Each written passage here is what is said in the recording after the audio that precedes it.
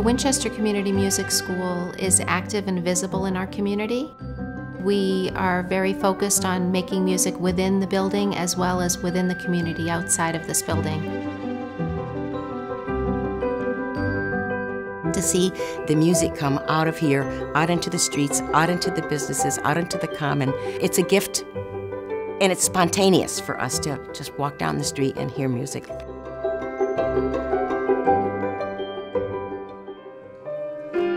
Outreach recitals are typically done in local assisted living or nursing facilities.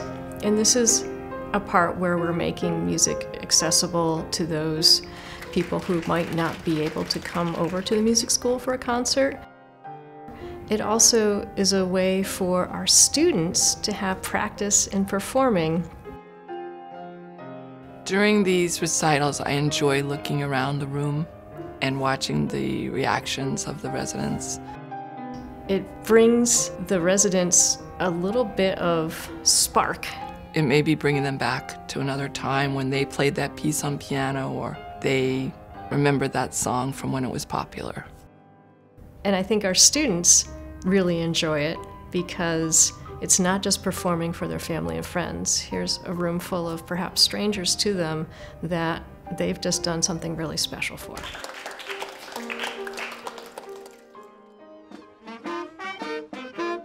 The Halloween parade is a wonderful excuse for the faculty and students of the music school to dress up and go march in a community parade. We invite our band students, middle and high school or adult. They play Halloween songs as many of children in the community follow behind with kazoos that are issued by the Winchester Community Music School.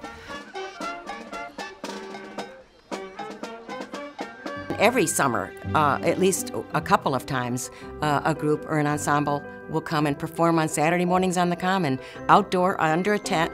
People are picnicking with their children, dancing, shopping at the market.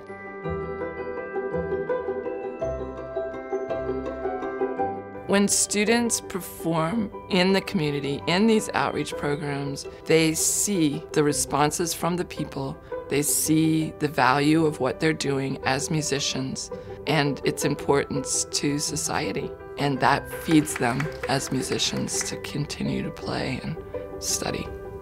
I think that's a wonderful thing about music is that it can touch people in different ways that you may not even be able to explain or understand. And that's the beauty of it. And that's one of the things that we're providing by taking our students in our programs out into the community.